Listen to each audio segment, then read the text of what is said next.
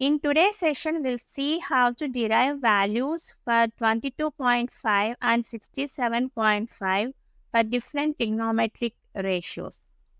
In trigonometry, we have to know values of all the six trigonometric ratios for different angles like 0, 30, 45, 60 and 90. Those are the basic. Apart from those, 18, 36, 54, 72, 22.5 and 67.5. Knowing values for these angles would be useful to solve many problems. In today's session, we'll start with this sine 22.5. 22.5 can be related to 45 as 2 times 22.5 is 45. So if we consider theta to be 45, then theta by 2 is 22.5.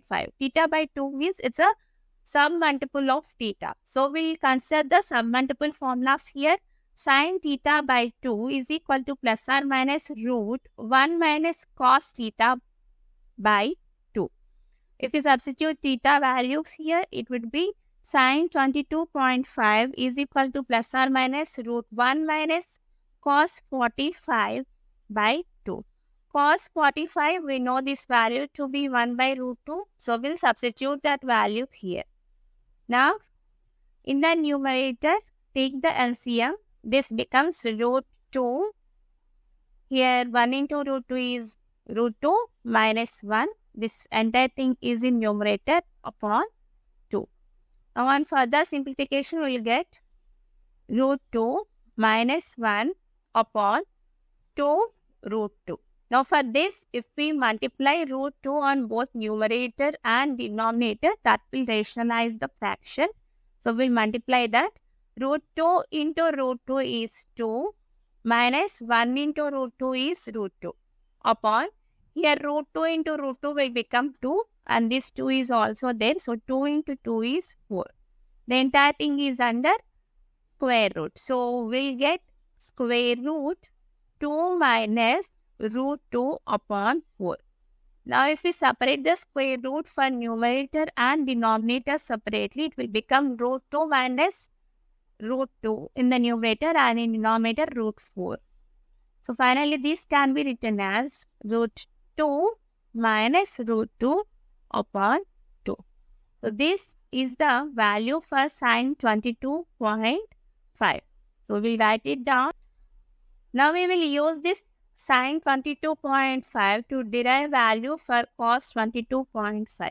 For that we will use the Pythagorean identity that is sine square theta plus cos square theta equal to 1. If we rearrange that identity, it will give cos theta is equal to plus or minus root 1 minus sine square theta. In place of theta, if we substitute 22.5, would be cos 22.5 equal to plus or minus root 1 minus sine square 22.5. Here as this 22.5 would be in the first quadrant, we will consider only positive value. So cos 22.5 is equal to substitute the value of sine 22.5. Now in this the numerator and denominator we can square it separately then it will become 4 square upon 2 square. 2 square is 4. We will write it down. And in numerator, we have square root. Square of square root means these two will get cancelled. So, we will have 2 minus root 2 in the numerator. On substituting this value, it would be like 1 minus 2 minus root 2 upon 4. Now, take LCM here. Under square root, we'll have 4 1 into 4, this 1 into 4 is 4 minus of 2 minus root 2. Now if we take minus inside, it will become 4 minus 2 less root 2 upon 4. 4 minus 2 here it would be 2. So in numerator we will have 2 less root 2 upon 4. Now, if we take the square root separately for both numerator and denominator, we'll get modified like this. And then we'll get the final answer to be root 2 plus root 2 is root 2 upon square root of 4 is 2. This gives the final value of cos 22.5. The cos 22.5 equal to root 2 plus root 2 upon 2. Now we'll use these 22.5 values of sine and cos to get the value for 67.5. We know that sine and cos are complementary functions which means sine theta equal to cos of 90 minus theta. In place of theta, if we substitute 22.5, it becomes sine 22.5 equal to cos of 90 minus 22.5. 90 minus 22.5 is 67.5. So, sine 22.5 equal to cos 67.5 which is equal to root 2 minus root 2 upon 2. In a similar way, from cos 22.5 we can derive sine 67.5 as both are complementary. Cos theta equal to sine of 90 minus theta so in place of theta 22.5, that makes cos 22.5 equal to sine 67.5 equal to root 2 plus root 2 upon 2. Now we got the values of sine and cos for 22.5 and 67.5. We will use these values to derive the values for tan 22.5 and tan 67.5. Tan is equal to sine upon cos. So we'll substitute sine 22.5 and cos 22.5 here. So 2 and 2 will get cancelled.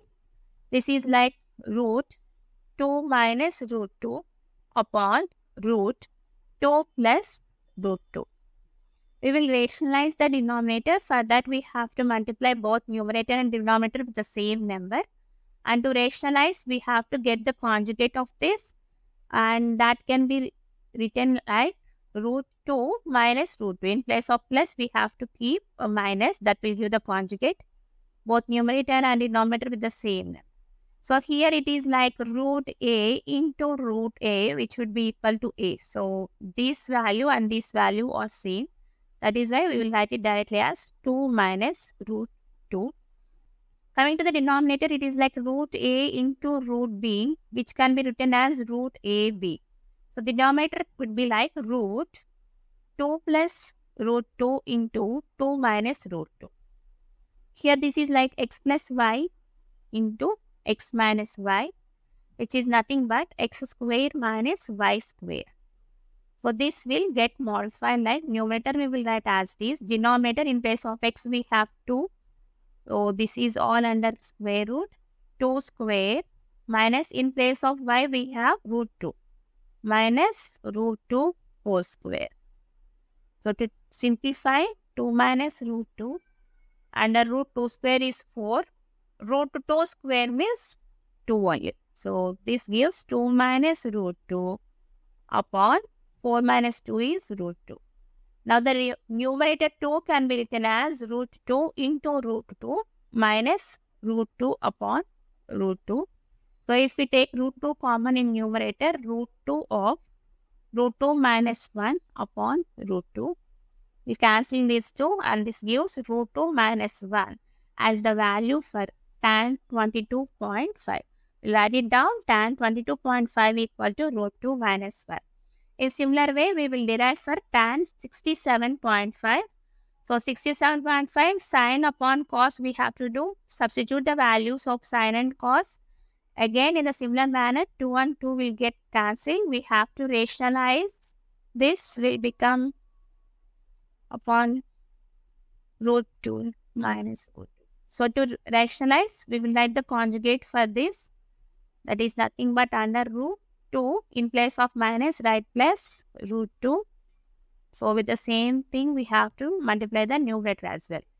In numerator we have same values. So it is like root a into root a which is nothing but a. So write the numerator to be 2 plus root 2. Denominator is like root a into root b which is nothing but root ab. But again this is like x minus y and this is like x plus y.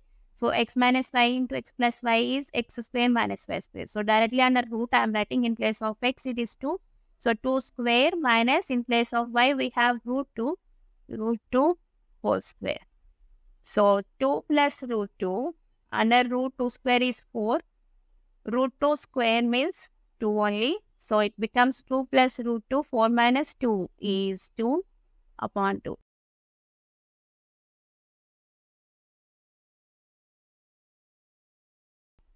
So I'm separating it. So this 2 is nothing but root 2 into root 2. 1 root 2 and 1 root 2 will get cancelled. So we'll have root 2 plus in this term root 2 root 2 gets cancelled out and 1 will remain. So root 2 plus 1. So tan 67.5 is equal to root 2 plus 1. Now we have derived values for sine, cos and tan for angles 22.5 and 67.5. Cot can be written as reciprocal of tan.